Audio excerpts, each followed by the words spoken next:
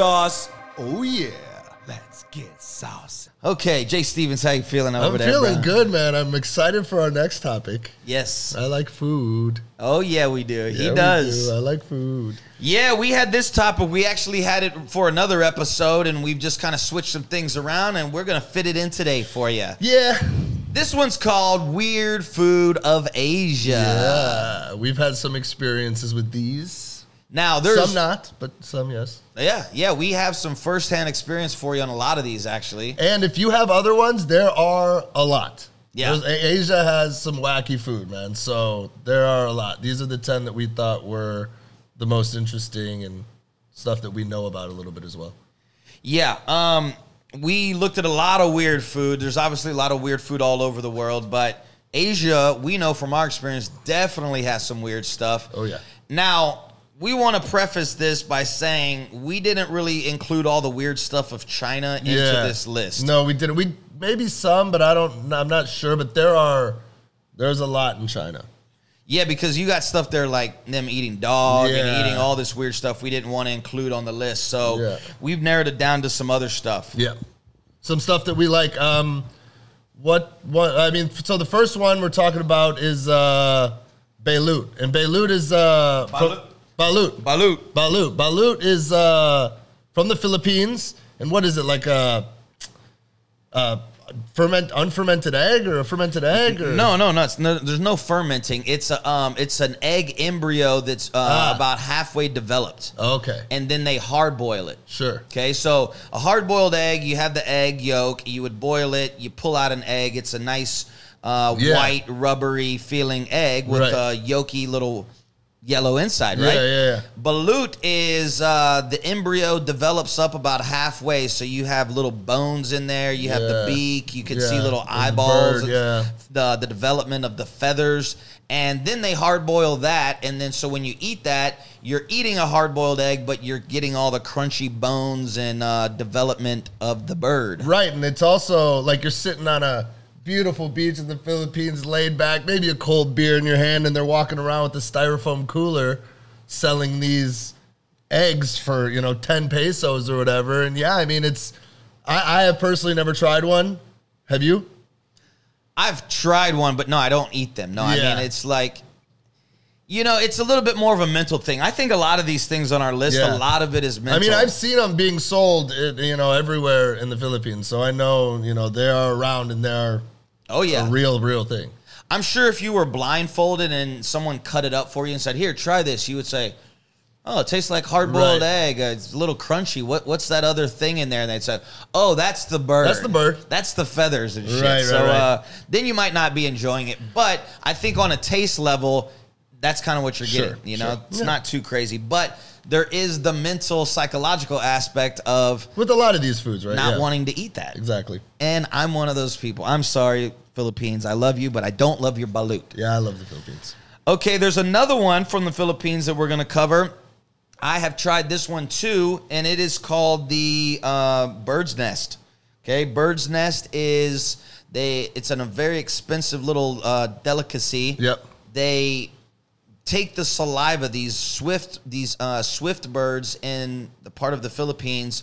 They create their nest by spitting up this. Uh, Saliva. saliva. Yeah, it's- and it's it comes up and it kind of forms up and it gets hard and they make their little nest. They make a little bird's nest out of this stuff, and it's uh, very expensive. It's very hard to get because you have to climb way up in these caves to get it. And they make this soup out of it. Mm-hmm. The Chinese really love it. Um, I had a Russian TV show. I used to have a restaurant in the Philippines, and we had a Russian reality show come to El Nido where I was living, and they wanted to try it. So there's like, hey, can you help us get this stuff? Called up a few people I knew. I was able to get the bird's nest, and then uh, yeah, we arranged it at my restaurant. They came in, we made a little bit of the soup for them. They tried it on the stuff, so you know, it's a, it's a lot more hype than it is. I can imagine. yeah, I mean, I can imagine. it you're not really getting any taste. It's not something like, oh my god, this is amazing. Now I see why everybody wants to drink this soup. Right. It's just um, it's got some powers to it. You know, it's got some health benefit to it, and it's just very highly sought after because it's so hard to get. So it's something for kind of like the rich people. Sure. It's like when you eat caviar. Caviar. but now you're gonna eat bird throw up. Yeah. Okay, enjoy that. So that's called Bird's Nest. That's out of the Philippines as well. Um, don't recommend that, and actually, you probably aren't going to find that. It's very hard to find. Yeah. Um, don't even waste your time with that one. All right, the next ones on our list, though, you're going to definitely be able to find all of these. They are in different parts of Asia, and they are waiting for you to eat them. Yes, they are. Okay. Um, should we knock a few Taiwan ones out real quick? yeah, yeah, yeah. All right, we got a couple off the Taiwan list. So Yeah. these are ones that we've experienced here in Taiwan. Mm-hmm. You're going to experience them with us right now, too. Number one, it's not too weird, but it's just, it's kind of like the stereotypical um, weird food of the night market stinky tofu. Oh yeah, it's a Taiwanese classic. Okay. Stinky tofu is those two words exactly. It's tofu that smells very bad and it's stinky. It smells. It smells bad. It Yeah. smells very bad.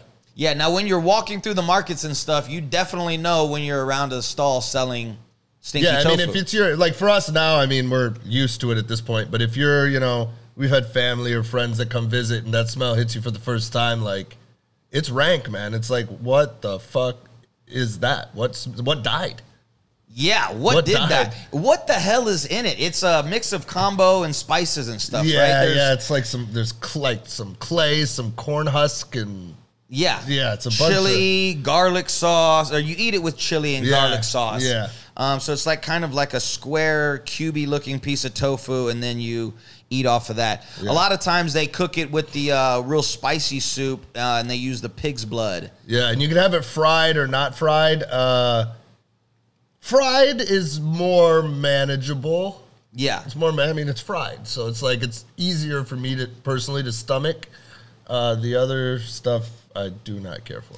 And I think on this one, it's a little bit better because essentially you still are just eating uh, bean curd. You're eating Yeah. stinky Yeah. bean curd. Some of these other ones, like I said, you're eating a half developed bird. Yeah. You're eating a live octopus. You're eating bugs and insects. Like there's a lot of that stuff that you mentally might not want to wrap your head around. Right. Stinky tofu, it's the smell that gets you. It's not such a mental thing. If you can get past the smell, you're in. Okay, so uh, check that out. You can eat that in Taiwan in the night markets. You can find it everywhere.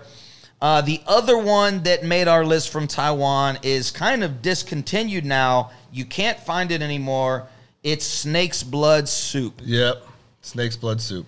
There used to be a famous night market here in Taipei City uh, near the Longshan Temple, and it was called Snake Alley. Yep. So you had one alley in this market that they sold uh, a bunch of snakes. You could go there and buy snake blood. Yeah, the market is still there. The snake, the snake situation is not. Exactly. Yeah, you yeah, you used to be able to buy. Uh, you could do shots of like snake bile, uh, snake blood, and like a not snake venom, but some sort of you know thing like that. And yeah, you just take three snake alcohol or whatever. You take three so- shots of that with the you know bartender, or the snake guy or whatever. And Yeah. yeah, it's it's definitely interesting. Like you know, they'd have the snakes on display, and you know, Yeah, and when you used to go to the restaurant, you'd see the boss. I mean, his fingers look yeah, like this. mangled. You, You, know, know, have- yeah. out of 10 fingers, I think he had about like 4.25 fingers. Yeah. You know, every finger was like nubbed, and you could see where cobras had bit him, and he had to get his finger amputated. Yeah. Uh, they are cobras too. Like when you walk through the market, you'll see them have the cobra right there on the table and kind of playing with it, and Yeah. it's, you know, all perked up with its hood up. And Um, they just stopped this semi recently. Yeah. Yeah, like I mean, since I mean I've been here about eight years. It's been when I was here, it was still going on. Yep. So within the last maybe four or something years, they've they've stopped. Yeah, and I think it's one of those things uh, on the humane animal Yeah. humanity type thing, Yeah. but also people just didn't want to do it. Yep. You know, like the new generation, they want to go It's more of an old school thing, I think. they want to go catch Pokemons Yeah. and uh, do TikTok dances. They don't want to go to the night market and drink snake venom and snake blood. Yep. Agreed. Um, I'm sure somewhere in Asia they're still selling snake blood. yeah. Uh, Oh, yeah. Just not in Taiwan. Nope. But that did make our list for Yeah, weird it's, it's definitely interesting. So we got two from the Philippines, balut and bird's nest. We got two from Taiwan, stinky tofu, snake's blood. Oh wait, hold on. Before we move on, we forgot uh, the the uh, the animal blood of Taiwan. Okay. Yeah, we're gonna throw that back in. Rewind. Uh, coagulated animal blood. Most uh, popular is the pig's blood. Pig's blood cake. Yeah. Okay, you have pig's blood, and you also have duck blood. Yep. Okay. Yep. What happens there is they take the blood and they make like a jelly out of it, so you get kind of this soft tofu jelly textured piece of coagulated blood. Yeah. that's what it is. Yeah. Kind of. it's Actually, some of them kind of reminds me of like a little sponge or something. yeah. Yeah. It's like if you've ever made Jello at home, where you mix it up and you freeze it, and afterwards it kind of gets all jello-y and uh, soft Yeah. like that. That's what you're getting, but it's made with blood. Yeah, and you know what? It's actually, I mean, like, yeah, it's called pig's blood cake, but you're not eating it, and you're not like, ooh, that tastes like blood. It just tastes like. I don't.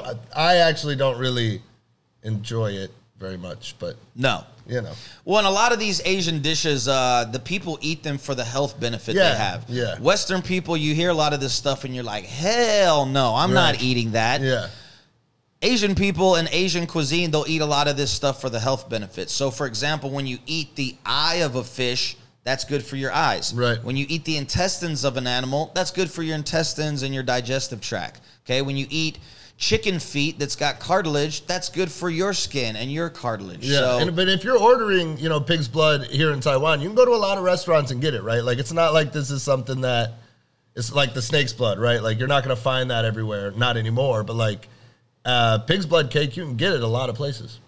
Yeah, yeah, you can. It's out there. Uh, you can have my portion if you ever uh, are Yeah. interested in that. I'll give you all of mine. Yeah. Um, okay, now we're gonna fly over to Japan. Japan's got some weird ones. Yeah. You know what Japan loves to eat? They love to eat the balls of they, fish. They like testes. they love those testes, Yeah, boy. They. Yeah, they do. Two of the things on the list are the testicles Yeah, of sea creatures. Yeah, both the ones we found were balls. Yep. Yeah. Okay, so first one is called Shirako. Yep. Okay, Shirako is male codfish sperm sac. Yep. Let me go ahead and rewind that for you. Might have been hard to digest. Male codfish sperm sac. Yeah, and uh, you check out a picture of that. It look they're little white things. Yeah. I mean, I don't, I don't know, man. They're just look, yeah, little white things. yeah. Yeah. Um, yeah. And yeah, they come and it's very expensive. It's very uh very highly It's a sought after. Yeah. Yeah, it does not look enticing at all, Yeah. but it's out there. Yeah. It looks like you'd get it at like a sushi kind of place or a raw, you know, seafood sort of place, right? Yeah, exactly. Yeah. Uh, another one in Japan that is some balls is called uni. Yep. Uni is sea urchin balls. Yeah. Now I have had this. Okay, uh, I had some DJ shows out there a few years ago, and uh, the promoter she took me out to the restaurant. We went to this nice high end Japanese restaurant. And you in Japanese culture, you have to show respect and you have to accept gifts when people give them to you. So we go to this nice restaurant and they order me this expensive sea urchin, and you see them pop it open and you're looking in it. It's all orange and it's a sea urchin. Did you, eat, did you eat it? Did you eat it before you knew no, that I- it was balls, or you? They told you it was balls, and then you ate it. No, they just said, "Here, Yes. have this." So you ate it first. yeah, you just don't Yeah, ask questions. Well, exactly. Right. And what'd you think? I mean, I washed it down with the sake real quick. I tell you that much. You Yeah, know, it's yeah, just yeah. I don't like that texture Sure, and sure, taste. sure. I don't li- really like raw oysters and Ah, stuff like that. So. okay. It, it is that one's a very mental thing too, man. It's not very tasty. Um, you have to really like that sort of seafood palate Yeah. of that weird Yeah. seafood um, type stuff. Yeah, I was just wondering if like you ate it and you're like, oh, that's pretty good, and then they're like, oh, that was you know, sea Oh, urchin no, no, balls. no, then you're no. like, oh, fuck that. No, Yeah. dude, no. They they let me know. They didn't tell me it was sea urchin balls, but They they, just just, go. They just go here and Right. they open it up, and you just have to eat the whole fucking exactly. thing. Exactly. Um, Sure. I, I guess the balls are in there somewhere. I don't really know. I didn't get specifically served the sea urchin balls, but with the sea urchin, yes, they pop it open, bring it, and you eat out all the meat and maybe all the balls too. Mm-hmm. Probably. Okay, so those are in Japan, and do we have any more in Japan? I don't think, don't so. think so. Oh yeah, we did. We had the tuna eyeball. Yeah, tuna eyeball. Tuna eyeball. Yeah. Tuna, uh, as you're probably aware of, is a very big thing in Japan. Yeah. Some of these tunas that uh, they catch can sell for a million dollars. Oh, yeah. You know, the perfect healthy tuna that all these sushi and sashimi restaurants can get, they'll pay high end, high dollar for this meat. Oh, yeah. They also pay high dollar for this tuna eyeball. Yep. Okay. Yep. And it's exactly what you think. It's Yeah, a I mean- big tuna eyeball, and you just eat the eyeball. Yeah, I mean they prepare it in a bunch of different ways. I think that you can fry it, eat it raw, stew it, or whatever. Yeah. but yeah. I mean, Yeah, there's All really the same. There's really no tricks to it. yeah, there's really no tricks to It's it. the an uh, some seasoning and some spice and some sauce and uh, a Yep. tuna eyeball. Yep. Okay. Yep. So if you're going to Japan, you can eat some balls and you can eat some eyeballs. Yes, you can. Go to Japan. Okay. Um, right next to Japan, their neighbors, the Koreans. Mm-hmm. You know, they didn't come up short in this category either. They got They some weird, didn't. funky stuff as well. Yes, they do. So, out of all the list, I think this is the one I like the least. If I had to try them all, this is probably the one I would go to last. Yeah, this one's a- irks you a little bit, huh? Yeah. Okay, this one's called San Sannakji. Sanakchi. Sannakji. Yep. Okay. Sannakji is the live tentacles of octopus. Yep. Okay. We're gonna throw a video on for you right now so you can see this happening while we're talking about it. Basically, yeah, they take these little small octopus, pull them out, chop their tentacles off, and the tentacles are all squiggling and wiggling and worming around. And they throw a little bit of vinegar and a little bit of sauce on them, and you eat them as they're live and moving around. Yep. I, I mean, that's it. Yeah, you can is- see on the screen. that's This is exactly exactly what's going on. Yeah, we also saw some videos of people eating live baby octopuses as well. Yeah, now We that decided not to do that necessarily. That's weird, man. we didn't get the term for that. Uh, if you know the term for eating the full uh, live octopus in Korea, let us know in the comments. Uh, we've seen the video. That is a fight for death, basically, because you have this little uh, octopus. You throw it in your mouth, and as you're chewing on it and trying to eat it, it's fighting for its life too. So Yeah. it starts to uh, suck Stick to your throat and the yeah, your esophagus, and Yeah. it'll start to like. Uh, I've seen videos of these people where it's like you see their face getting all red and like eyes watering up because they can't breathe Yeah. as this thing is like trying I to mean, like. I, I just don't see the like fulfillment in that. Like what, like what, what makes you want to do that, man? I don't know, man. So that is octopus eating in Korea. Check that out. We just showed you the video. Um, the tentacles is called sannakji, and then you can have the whole thing uh, as well while you're down there. Yep. Um, getting out of Korea, we have a few more for you. These are just in general Southeast Asian ones. These aren't the weirdest of the weird, but they don't really sell this stuff in the West. No. Uh, you got tarantula. Yeah. Fried tarantula. Fried tarantula. That's in Cambodia. I think they just yeah fry it, throw some sugar or garlic on that, and Yep. that's it. Eat it. So if you like fried chicken, Yeah. go ahead and give fried tarantula Yeah, a spin. Yeah. yeah.